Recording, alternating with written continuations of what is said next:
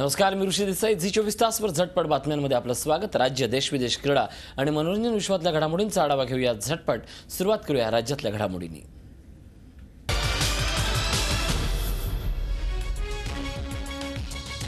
Petrol आणि डिझेलच्या दरात पुन्हा वाढ करण्यात आली आहे. पेट्रोल पंच्याहत्तर पैसे तर डिझेल पन्नास पैसे प्रति लिटर दरानं वाढ होण्यात आली. आहे मध्यरात्रीपासून हे नवे दर लागू झाले दोन आठवड्यापूर्वीच पेट्रोल आणि डिझेलच्या दरात वाढ करण्यात आली होती.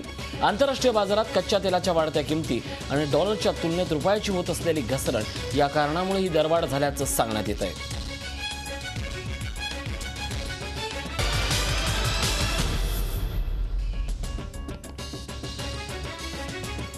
सोलापूरमध्ये डॉक्टरला झालेल्या मारहाणीच्या निषेधार्थ गेल्या दोन दिवसापासून सुरू असलेल्या निवासी डॉक्टरांचा संप अखेर मागे घेण्यात आला आहे संप ताबडतोब मागे घ्या असे आदेश मुंबई हायकोर्टानं दिल्यानंतर निवासी डॉक्टरांच्या माड या संघटनेनं संप मागे घेतला आहे कोर्टानं या प्रकरणाचा तपास करणाऱ्या पोलीस अधिकाऱ्याची कडक शब्दात कान उघडणी केली.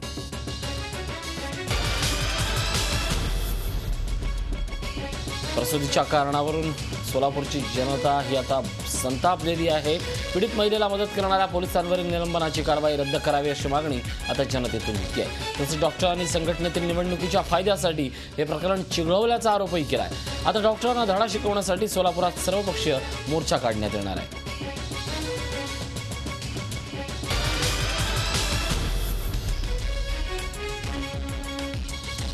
सोलापूरच्या निवासी डॉक्टरांना मारहाण करणाऱ्या पोलिसांवर निलंबनाची कारवाई झाली खरी पण याचे पुन्हा राजकीय पडसाद उमटायला सुरुवात झाली आहे. संपाच्या दबावाखाली पोलीस निरीक्षक अरुण वायकर यांच्यासह अन्य पोलिसांवर झालेली कारवाईच्या निषेधार्थ शिवसेनेनं मेडिकल कॉलेजवर मोर्चा काढला. पोलिसांवर झालेली कारवाई चुकीची असून ही कारवाई रद्द करून पुन्हा सेवेत घेण्याची मागणी शिवसेनेनं केली आहे. ही कारवाई रद्द न झाल्यास मोठ्या आंदोलनाचा इशारा शिवसेनेनं दिला आहे.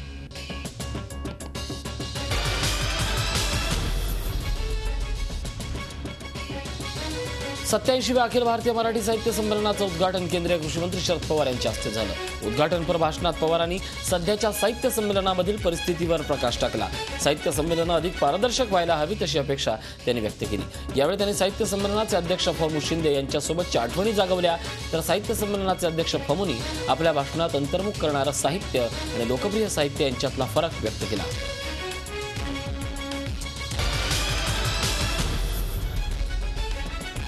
सासवडच्या अखिल भारतीय साहित्य संमेलनात अंधश्रद्धा निर्मूलन समितीचे दिवंगत संस्थापक डॉक्टर नरेंद्र दाभोलकरांचा साधा उल्लेखही करण्यात आला नाही. या साहित्य संमेलनात डॉक्टर दाभोलकरांचं साप स्मरण झाल्यानं आश्चर्य व्यक्त करण्यात येत आहे. दरम्यान दाभोलकरांचा उल्लेख व्हायला हवा होता पण हे जाणीवपूर्वक घडलेलं नाही असं स्पष्टीकरण संमेलनाध्यक्ष प्रमोद शिंदे यांनी दिलं. तर दाभोलकरांचा उल्लेख व्हायलाच हवा होता असं मत माजी संमेलनाध्यक्ष द. भी कुलकर्णी यांनी व्यक्त केलं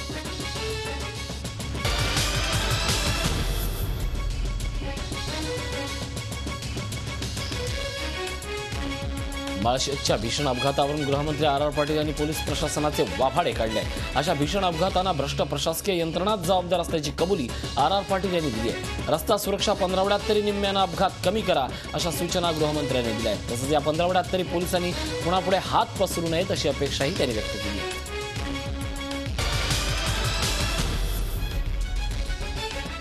माळशेज घाटात झालेल्या ट्रक आणि एसटी बसच्या अपघातग्रस्त कुटुंबियांची काल उपमुख्यमंत्री अजित पवार आदिवासी विकास मंत्री मधुकर पिचड यांनी भेट घेतली. जुन्नर तालुक्यातल्या आहेर आणि दाते कुटुंबियांमधल्या प्रत्येकी एका अशा दोघांना एसटी महामंडळात नोकरी दिली जाईल असं यावेळी त्यांनी जाहीर केलं.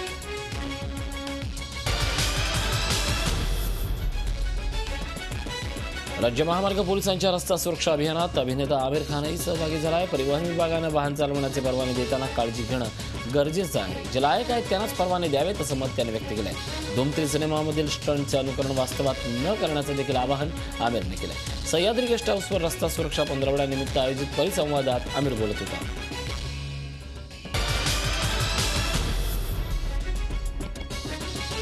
काँग्रेस आणि राष्ट्रवादी काँग्रेसमधील जागा वाटपाची चर्चा रखडली असताना राष्ट्रवादीनं मात्र लोकसभेचे आपले उमेदवार निश्चित करायला सुरुवात केली.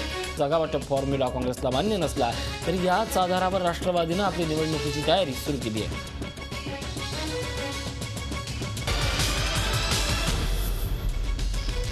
शिवसेना खासदार चंद्रकांत खैरे आणि भाजप नगरसेवक संजय केनेकर मारहाण प्रकरणी दोन्ही पक्षांची औरंगाबाद बैठक झाली. खासदार चंद्रकांत खैरे आणि रावसाहेब दानवे यांनी ही बैठक घेतली. यात मारहाण प्रकरणाच्या वादावर पडदा टाकण्यात आलाय.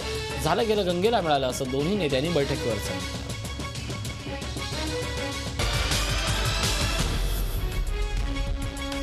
जळगाव घरकुल घोटाळा प्रकरणातील बहुतांश आरोपी धुळे जिल्हा न्यायालयात गरजर राहिल्यानं या प्रकरणाची सुनावणी सतरा जानेवारीपर्यंत पुढे ढकलण्यात आली आहे. जिल्हा विशेष न्यायालयाचा या प्रकरणी कामकाजाचा पहिला दिवस आरोपींनी आणि सरकारी पक्षानं दाखल केलेल्या विविध अर्जांच्या सुनावणीत केला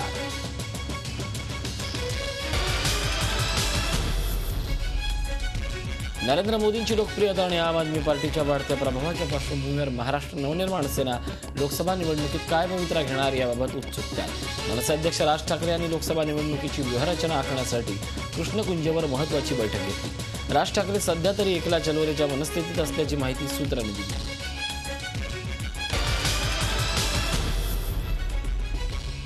मराठा समाजाला आरक्षण देण्यासंदर्भातला अहवाल लवकरच राज्य सरकारला सादर करू अशी माहिती मराठा समाज आरक्षण समितीचे अध्यक्ष नारायण राणे यांनी दिली आहे. मराठा समाजाला आरक्षण मिळावं अशी आपली भूमिका असल्याचंही राणे म्हणाले.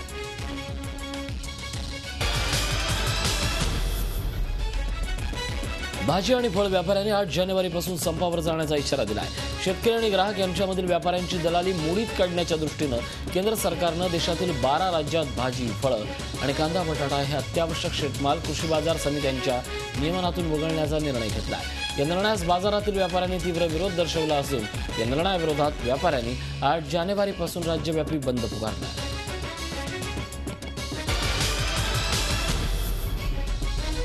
महिलांवरील अत्याचार रोखण्यासाठी नागपूर पोलिसांनी महिला पोलिसांचं पथक स्थापन केलं. आहे मॉल बगीचे आणि इतर गर्दीच्या ठिकाणी महिलांची छेडछाड आणि इतर त्रासदायक प्रकारांवर हे पथक देखरेख ठेवेल या पथकाचं वैशिष्ट्य म्हणजे यात वाहन चालक देखील महिला पोलीस कर्मचारी आहेत.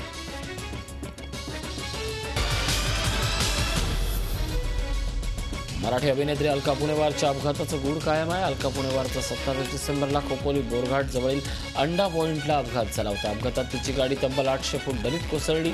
मात्र तपास केल्यानंतर गाडीजवळ मृतदेह आढळला नाही. त्यामुळे या गाडीला अपघात झालाय की गाडी दलित ढकलून बनाव करण्यात आलाय याबाबत पोलीस कसून चौकशी करतायत. सध्या अलका पुणेवार बेपत्ता असल्याची तक्रार ठाणे पोलिसात दाखल करण्यात आली आहे.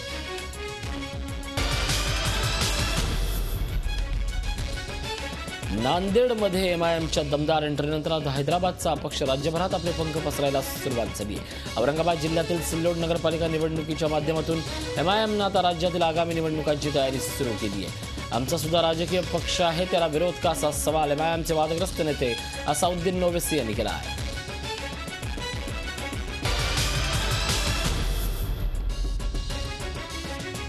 पुणे महापालिका आणि राज्य सरकारनं केलेल्या दुर्लक्षामुळे देशातली पहिली मुलींची शाळा असलेल्या तात्यासाहेब भिडे वाड्याला एका खासगी बँकेनं सील ठोकल्याचा धक्कादायक प्रकार घडला आहे लाजीरवाणी बाब म्हणजे मुलींच्या शिक्षणासाठी पुढाकार घेणाऱ्या सावित्रीबाई फुले यांच्या जयंती दिवशीची घटना घडली आहे. या घटनेचा निषेध म्हणून रिपब्लिकन पक्षाच्या आठवले गटानं भिडे वाड्यासमोर निदर्शन केलं.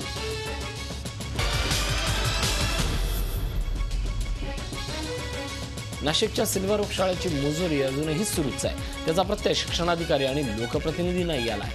शाळेची फी न भरल्याच्या कारणावरून शाळेनं काही विद्यार्थ्यांना गेल्या महिन्याभरापासून शाळेत बसू दिलेलं नाही. या प्रकरणी या विद्यार्थ्यांना शाळेत बसू द्यावं या मागणीसाठी तीन शिक्षणाधिकारी आणि लोकप्रतिनिधींना व्यवस्थापन यांची त्यांनी भेट घेतली. मात्र तीन तासाच्या चर्चेनंतरही शाळा व्यवस्थापनानं जुमानलं.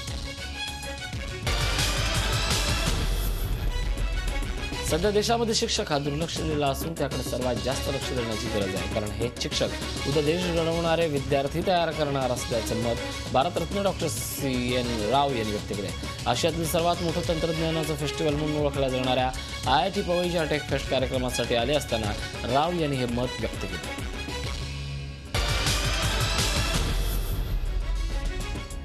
मुंबईत वरळीमधील स्मशानभूमीची दुरवस्था झाली आहे. हे ठिकाण म्हणजे चोर गर्दुले आणि दारुड्यांचं आश्रयस्थान बनले.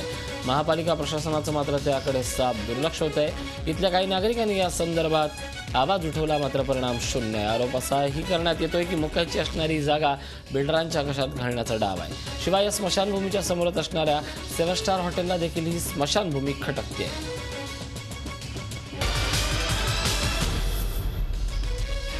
आशियातील सर्वात मोठा तंत्रज्ञानाचा उत्सव अशी ओळख असलेल्या आय आय टी मुंबईच्या टेक फेस्टला सुरुवात झाली आहे. यावेळीच्या फेस्टिवलचं सर्वात मोठं आकर्षण आहे ते मानवी भावना समजून घेणारा बिना फोर्टिएट नावाचा रोबो हुबेहूब माणसासारखा दिसणारा आणि सहजरित्या संवाद साधणारा रोबो बघण्यासाठी एकच गर्दी झाली आहे.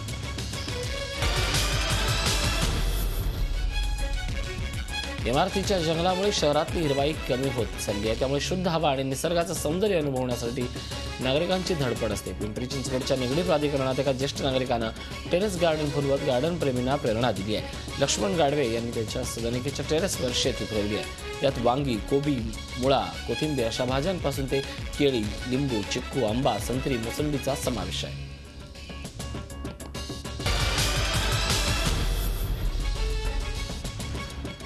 पंतप्रधानांची बहुप्रतीक्षित पत्रकार परिषद काल अखेर झाली. यांच्यात त्यांनी युपीए एक आणि दोन मधील घेतलेल्या निर्णयाच्या आपल्या अपयशाची कबुली दिली. महागाई आणि रोजगाराच्या बाबतीत सरकार अपयशी ठरल्याची कबुली त्यांनी दिली आहे. याचवेळी त्यांनी पंतप्रधानपद सोडण्याची तयारी असल्याचं सांगत राहुल गांधींच्या नेतृत्वात काम करण्याची तयारी दर्शवली तर मोदी पंतप्रधान बनणं हे देशासाठी घातक असल्याची टिप्पणी दिली आहे.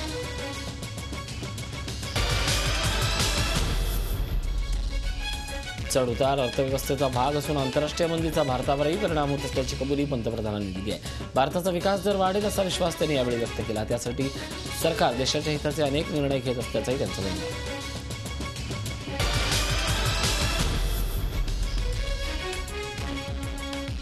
पंतप्रधानांनी घेतलेल्या पत्रकार परिषदेमध्ये निवृत्तीशिवाय काहीच नव्हतं. त्यांची पत्रकार परिषद केवळ निरोपाचं भाषण मांडत असल्याची टीका अरुण जेटली यांनी केली आहे. भ्रष्टाचार आणि महागाईवर पंतप्रधान नियंत्रण ठेवू शकले नाहीत. पंतप्रधानांनी आता आत्मपरीक्षण करण्याची वेळ आली असल्याचंही त्यांचं सांगितलं.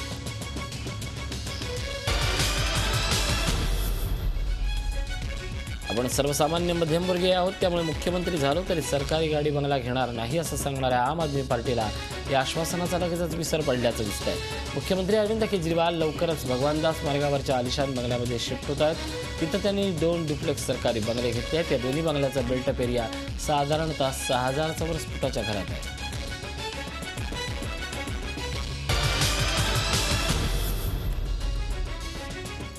नवी दिल्लीमध्ये सोळा डिसेंबर दोन हजार बारा रोजी झालेल्या निर्भया सामूहिक बलात्कार प्रकरणातील फाशीची शिक्षा सुनावलेल्या चार आरोपींच्या याचिकेवरील निकाल दिल्ली उच्च न्यायालयानं राखून ठेवला आहे न्यायमूर्ती रेखा खेत्रपाल आणि न्यायमूर्ती प्रतिभा राणे यांच्या खंडपीठानं हा निकाल राखून ठेवला आहे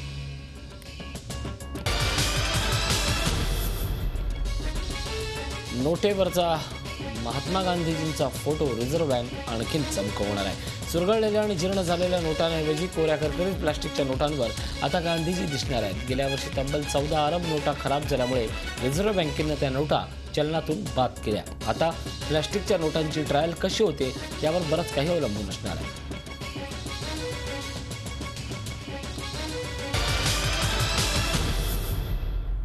झी चोवीस तास एक पाऊल पुढे.